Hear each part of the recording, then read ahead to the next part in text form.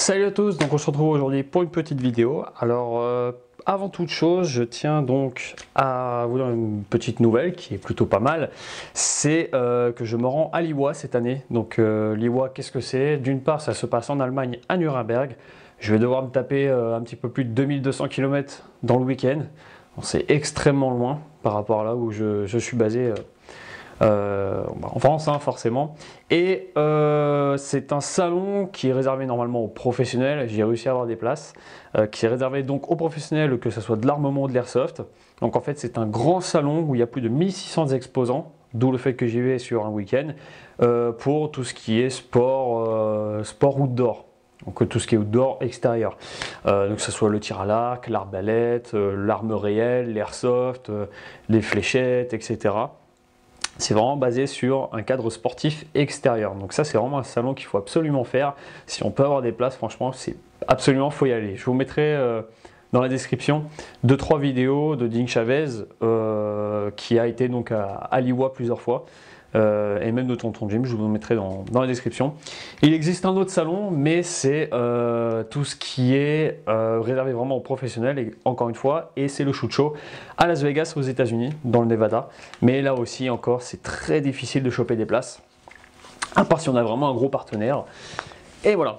Donc ça c'était pour la petite nouvelle plutôt sympa. Ensuite je vais vous présenter ma Systema PTW. Hop, version Max 2012 que j'ai entièrement customisée avec un second hopper qu'on verra après. Donc voilà un petit peu la bête. C'est une réplique qui coûte extrêmement cher déjà de base, que j'ai réussi à avoir en échange. Il y a maintenant ça 5 euh, ans. Elle a 5 ans la même air déjà. Et elle tient toujours la route. Hop. Voilà un petit peu la gueule. Hop. Que ça. Alors, à l'origine, c'est une version Max 2012, comme je l'avais dit. Qu'est-ce que Systema PTW pour les néophytes? Alors, c'est simple. Ce sont des répliques qui sont à la base euh, destinées aux forces de l'ordre, donc tout ce qui est euh, police, militaire, etc., euh, qui sont fabriquées par Systema. Systema, c'est une marque japonaise qui commence à avoir déjà de la bouteille, qui, qui, est vraiment destinée dans le milsim entre guillemets. Euh, c'est des répliques qui sont à l'échelle 1, autant au niveau du corps qu'au niveau du, corps, des accessoires, etc. C'est vraiment, euh, entre guillemets, mil spec, military specification. Euh, moi, je l'ai customisé, comme on peut le voir, en style, j'ai mis entre guillemets, style MK18. Donc on va avoir à l'avant un silencieux Quick Detach, si j'arrive à l'enlever, hop, Quick Detach que j'ai acheté sur Airsoft Entrepôt. Euh, pourquoi? Parce que simplement que c'est un silencieux qui me convient très bien, que je peux enlever et remettre. Je peux le mettre sur mon second hopper. Normalement, il est sur le second hopper, pas sur le premier, parce que déjà qu'il est long. Euh, donc voilà, il y a des petits marquages. Alors je ne sais pas si on va les voir. On aura des marquages M4 QD calibre 556. Night Armament CO Vero Beach Floride, FL Floride. Serial numéro S10. Voilà. Truc tout simple, hein, c'est juste décoratif. On va avoir un cache-flamme de type standard Systema. L'outer barrel, c'est du Systema en acier. C'est pour ça que ça pèse un petit peu. On va pas se cacher. Hein. Hop. On va avoir de côté droit, on va avoir une lampe, une MX2000 Mix 200, je sais plus, euh, de chez Beta Project, qui fait seulement lampe, qui n'a pas le, laser, le, mode IR. C'est vraiment fait pour, la, pour éclairer, il n'y a rien de plus. Qui a la particularité de pouvoir se basculer en haut et en bas. On va avoir des protections de rail sur les quatre côtés. Ce qui permet en fait de vraiment pas venir se, niquer les doigts sur le rail parce qu'il est vraiment très tranchant, un peu comme sur les vrais 416 euh, si vous en avez déjà eu entre les mains. C'est vraiment les rails sont vraiment saillants, d'où les, protèges, que j'ai installés, malgré euh, que j'utilise aussi des gants. Hein. On va voir sur le dessus un Anpec 15 LA5 de chez euh, Element, il me semble. C'est les Element, c'est les derniers avec la version UHP. Donc celui-ci fait laser rouge, euh, lampe et euh, laser infrarouge. Donc ça c'est plutôt sympa, euh, surtout avec une NVG. Ça rend vraiment les choses beaucoup plus faciles. On va avoir un switch déporté ici d'origine, qui se branche et qui se débranche ici. Moi je le laisse brancher, il hein, n'y a pas de souci. On va avoir un switch donc déporté qui est sur le côté ici et qui va me permettre en fait, une fois épaulé, tac, parce que j'ai ma main qui vient se mettre sur le, l'AFG, tac, direct, j'ai accès au bouton, au petit switch ici. Donc ça c'est plutôt pratique. On va avoir ici un attache sangle QD avec un marquage, pareil je sais pas si on va le voir, Daniel Defense. Donc ça c'est pareil, c'est du cheap, hein. je me suis pas fait chier, il tient très bien et franchement j'ai pas de soucis depuis avec. On va avoir une poignée AFG, donc pareil c'est une copie hop, angulaire qui vient vraiment euh, niveau confort franchement c'est pas mal. Franchement c'est pas mal parce que moi je viens vraiment caler avec ça. Ça me cale mon doigt et j'ai franchement ça me gêne pas du tout bien au contraire. Et puis je peux passer euh, donc de l'autre côté. Tac voilà. Je peux vraiment avoir quelque chose euh, de, switchable. Donc je peux ici, de l'autre côté, c'est vraiment, vraiment, vraiment top. Donc pareil, de l'autre côté, on va voir donc les rails, comme je vous l'ai dit. Une sangle, donc là c'est une vraie, c'est une Magpul Dynamex. Euh, alors je sais plus le modèle que c'est. C'est une sangle QD, entre guillemets.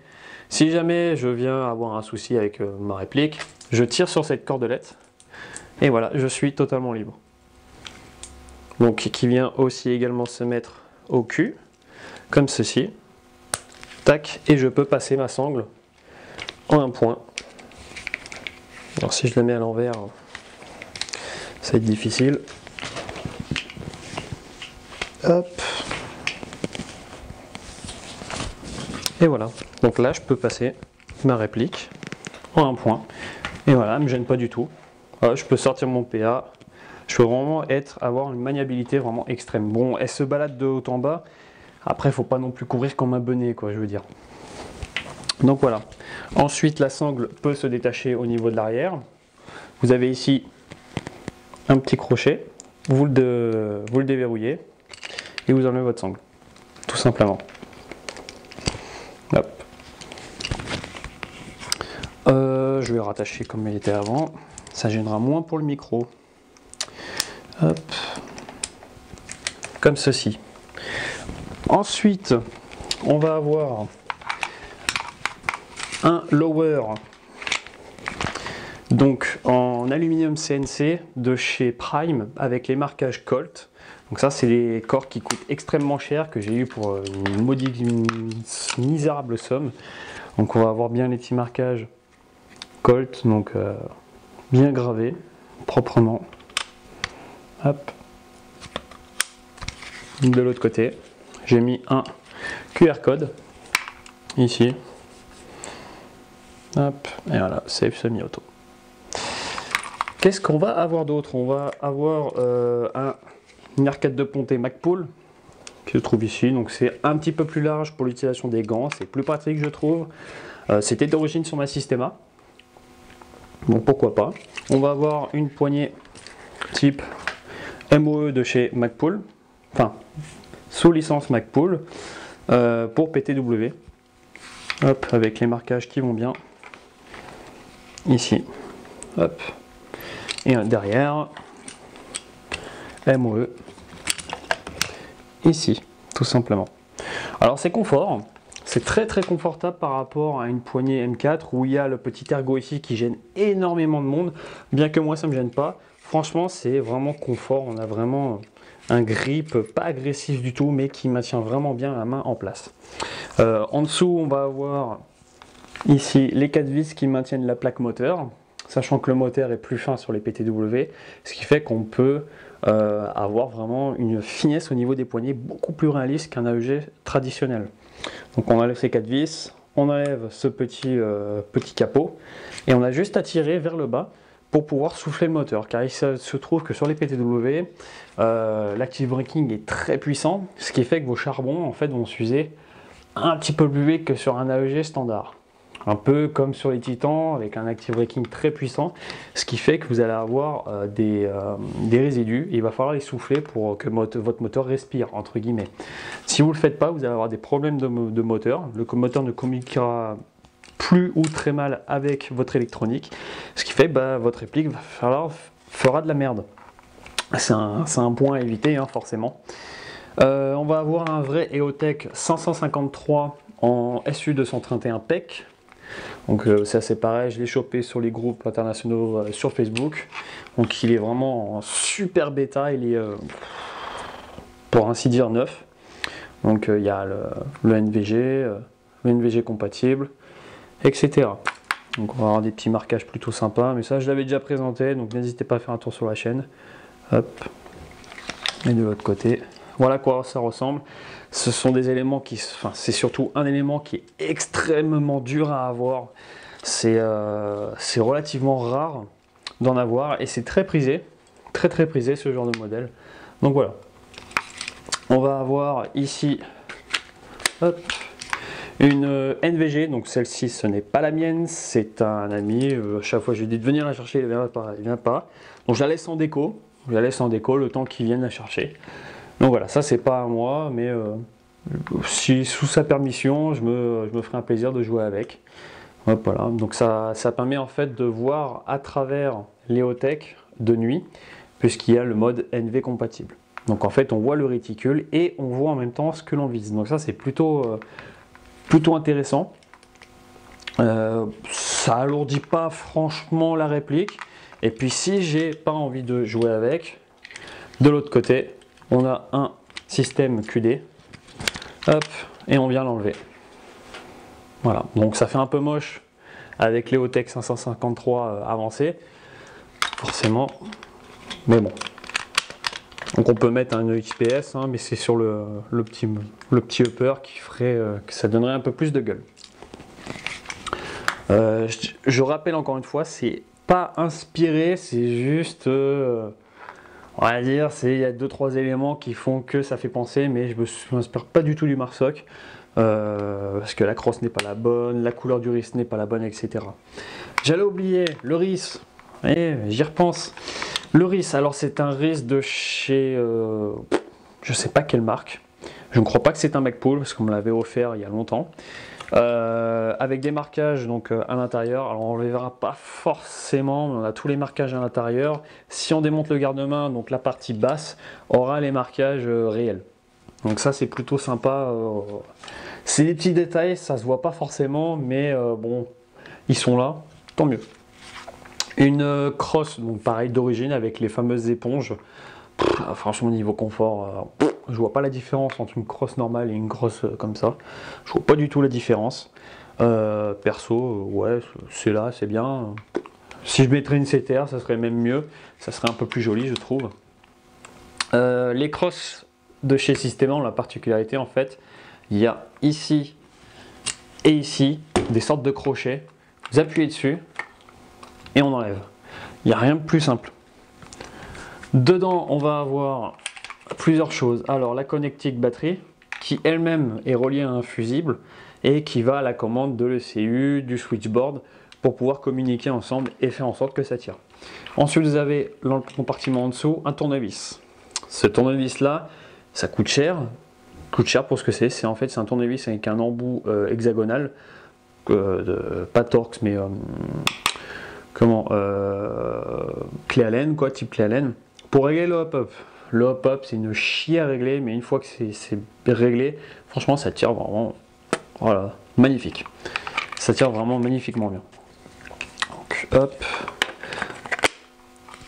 Et le hop-up se règle. Alors, je ne sais pas du tout si on va le voir. Et le hop-up se règle ici. Voilà. Donc, vous enlevez votre chargeur, mettez votre réplique à l'envers, comme ça, vous gardez la bille. Vous tournez votre, réglage, plus ou moins et vous pouvez ajouter vos trajectoires. C'est chiant à faire, mais une fois que c'est fait, je vous l'ai dit, c'est franchement c'est une portée, une précision portée, franchement c'est vraiment génial. Vraiment quelque chose de très très très sympa.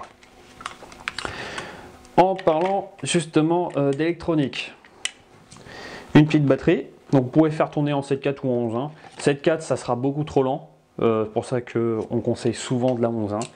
Euh, les Etini et les derniers de chez euh, Systema peuvent supporter la 14.4, il me semble. Si j'ai des bêtises, n'hésitez pas à corriger dans les commentaires afin que je corrige euh, la vidéo forcément. Hop, et ensuite on referme. Donc là c'est une 1300 mAh en 11.1 avec 37 de taux de décharge. Donc je l'ai mis pour vous faire voir un petit peu après. La particularité des systèmes, c'est le changement de puissance, de canon, et, etc. Très facile. On chasse la goupille qui se trouve ici. On vient la tirer. Et là, on vient briser la réplique en deux. Comme ceci. Voilà. Ça, franchement, c'est vraiment top. N'allez pas dire que c'est ICS qui a copié ça. Non, non, non. C'est vraiment les premiers à avoir fait ce système-là. Euh, ensuite, il y a ICS qui a adapté leur gearbox euh, de façon un peu systéma, ce qui est vraiment pratique d'ailleurs. Très, très, très pratique. J'en avais une et franchement, ça a marché du feu de Dieu. Euh, et ensuite, il y a eu le système Katana le système Katana qui reprend un peu le système des cylindres PTW, etc. Mais là, c'est un autre sujet. Si j'en chope une un jour, euh, j'en ferai une review. Donc, vous avez donc votre cylindre, c'est pas un SHS, c'est un Systema.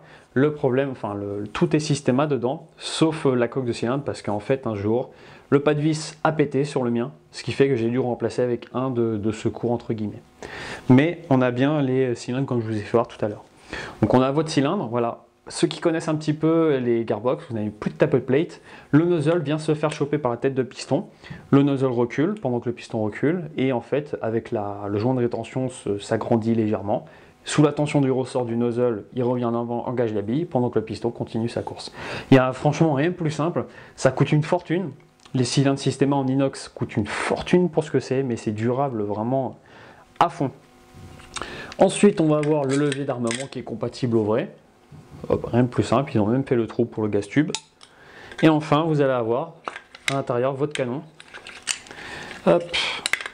Comme ceci. Donc c'est des gros canons bien massifs, bien costauds, qui évitent les vibrations. Et euh, sur celui-ci, c'est un 601 de chez PDI. Avec un bloc hop-up Systema et une euh, bague hop-up. Parce que oui, c'est une bague hop-up de chez Deepfire. Euh, pourquoi Deepfire? Parce que l'ancien proprio avec qui j'avais changé le VSR avait mis Deepfire et franchement j'ai des perfs vraiment vraiment vraiment satisfaisantes. Ensuite on va avoir en bas, alors on va avoir beaucoup d'électronique, c'est pour ça qu'on met euh, de l'Etini parce que d'origine c'est pas tropicalisé sur le Max 2012. Je sais pas si sur les nouveaux modèles, donc 2013, 2014, 2015, etc., sont tropicalisés, à confirmer. Alors on va avoir déjà la gearbox. Bien sûr, on peut changer de upper, j'y reviendrai. On va avoir donc la fameuse petite gearbox, hop, qui est vraiment tout petite, hop, petit comme ça. Hein. Ça fait penser un petit peu euh, aux tailles des euh, mechas de chez WE, pour ça que certains corps de WE sont pris pour faire les, euh, les uppers Systema. Euh, on va avoir donc un ECU, ça c'est le euh, Electronic Control Unit, ce qui fait que ben, c'est tout le système de détente arrêt de tir. L'arrêt de tir, voilà, si je passe en semi, rien ne se passe. Par contre, dès que j'appuie sur le ball catch, on va avoir une détente très très courte et on remarquera que le gear s'arrête toujours au même endroit. Il est géré électroniquement par euh, un laser, un laser IR, ce qui fait que euh, c'est un peu comme sur les, euh, sur les titans. Voilà. Ensuite, on va voir la rafale.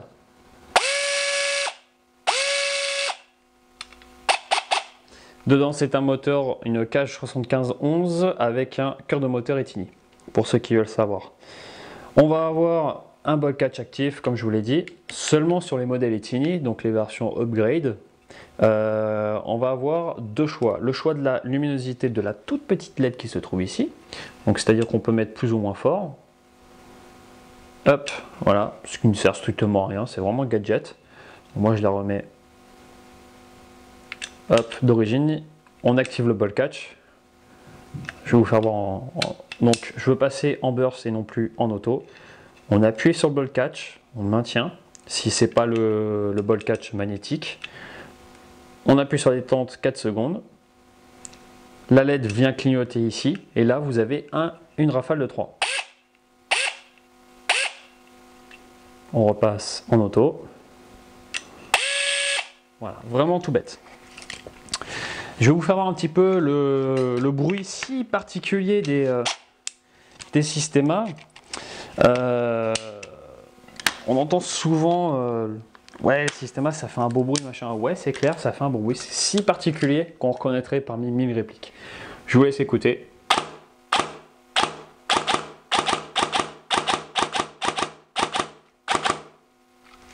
C'est vraiment, vraiment particulier. Hein. On peut spammer la détente. En auto. On a un cylindre de 410-420 fps. Je vous remets la rafale de 3.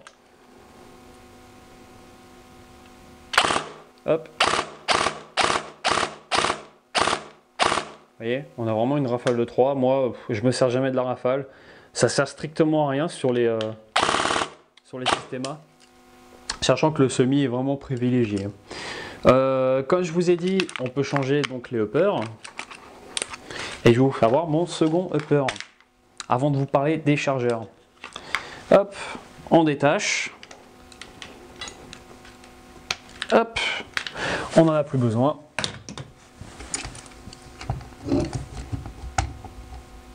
Je vais essayer de le prendre. Hop, mon second upper. J'attache au niveau de la sangle. Je clipse.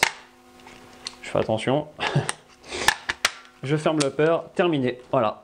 En deux secondes, vous avez deux configs. Ça, franchement, c'est vraiment le top. Vous pouvez faire pareil avec ICS, je sais, avec les katanas. Euh, donc voilà. Le trap, pour ceux qui veulent savoir, elle se referme automatiquement, c'est normal, sinon on voit le cylindre. Ça vous permet également de voir votre calage cylindre. Pareil, ça, si je rentre dans trop les détails, je vais vous perdre. Puis c'est pas le sujet de la vidéo. Donc là, on va avoir un petit peu tout pareil, sauf que là, on aura un rail 9 euh, pouces et demi de chez MacPool un outer barrel en aluminium euh, de chez Daitac ainsi que le cache-flamme et le reste c'est exactement les mêmes à peu près on aura ici un Nadpec 15 LA5 de chez FMA euh, qui lui a la particularité d'avoir un laser vert une lampe avec filtre, euh, infrarouge et ici il aura une lampe infrarouge sur celui-ci donc c'est pas mal pour éclairer euh, ici, c'est un BTB, bouchon de tir à blanc. Je sais pas si c'est un vrai celui-là, je crois pas. Je peux l'enlever. Hop. Et voilà, on a donc notre config comme ceci. Une poignée de Tango Down. Ici, la même lampe. Les cache-rails pour, euh, pour pas se niquer les mains. Donc, c'est les cache-rails souples, cheap. Hop. Et là, pareil, en semi. Je suis à 330 fps de moyenne, sachant que j'ai 0,7 fps d'écart sur cette réplique. J'ai un, 605 PDI dedans, euh, avec une bag of pop euh, Systema Evo et un bloc of pop Systema. Le reste, hop, c'est pas c'est d'origine, forcément. Hop, et le cylindre, c'est un cylindre Systema Inox M90 que j'ai donc regressé correctement. les chargeurs. Les chargeurs, il en existe deux types. Les grands et les petits. L'avantage, cela, euh, c'est pas mal pour les customs, style Vietnam, etc. Ça prend pas beaucoup de place. Puis bon, bah, ça fait pas non plus dégueulasse. Je sais pas pour vous. Hop. On peut mettre forcément les chargeurs normaux qui coûte relativement cher si c'est des systèmes Moi, je n'ai que des systèmes je suis sûr de la qualité. Euh, j'ai jamais eu de problème avec les systèmes quand il faut les entretenir. Donc, euh, c'est pas, c'est pas un souci en soi. Donc, c'est des. Ouh, celui-ci ne tient plus. le fail en direct. Heureusement que ça est tombé sur le cache-flamme. Donc, le QD ne tient pas sur celle-ci. c'est le désavantage du chip. Alors c'est bien gentil, mais euh, ça tient pas très bien, donc je vais le tenir avec un bras. C'est des mags en acier avec un vrai backpull, euh, simplement qui sont beaucoup plus souples que les faux. Euh, au cul, on aura bien les marquages Systema, PTW. Okay, je sais pas si on les verra à la caméra, encore une fois, j'ai pas de retour vidéo. Voilà. Particularité, c'est qu'ils permettent l'arrêt en fin de chargeur. Je vais vous expliquer comment ça fonctionne. Vous voyez, j'ai plus de billes, j'enlève, Voilà. Quand je vous ai fait voir qu'il y avait un bocal actif, c'était pas pour rien. on a ici un petit téton qui en fait va, va venir lever le ball catch et va venir euh, désactiver donc tout l'électronique. On va se mettre en sécu entre guillemets pour justement arrêter le tir. Hop. Les chargeurs tombent automatiquement, donc vous pouvez faire un petit peu les styles, euh, les styles éjection rapide. Tac. Donc voilà. A un petit peu pour ça. C'est pareil pour ceux-ci, c'est les chargeurs MAG qui sont très très bien, ils sont très fiables et euh, jamais de soucis avec. Hein. Que ce soit les longs ou les petits, sur les AEG, etc. Donc voilà un petit peu pour les chargeurs. C'est des euh, chargeurs euh, très, peu, très peu onéreux par rapport au Systema, sachant que un chargeur Systema comme ci, je crois, je crois c'est 60, 60 et quelques euros pièce. Ça fait très très cher. Très franchement, ça fait très très cher. Donc voilà un petit peu pour ce, cette petite réplique hein, de Systema, donc de chez Systema. Euh, bah, j'espère que ça vous a plu, que vous avez pu découvrir un petit peu euh, une de mes répliques favorites, un petit peu euh, ma chouchoute, que j'y prends vraiment très grand soin, à part quand ça se casse la gueule sur le sol. Heureusement que le carrelage n'a rien. Hein. Et puis voilà un petit peu pour ça. Moi je vous remercie d'avoir vu cette petite vidéo, et puis moi je vous dis à bientôt pour une nouvelle petite review. Ciao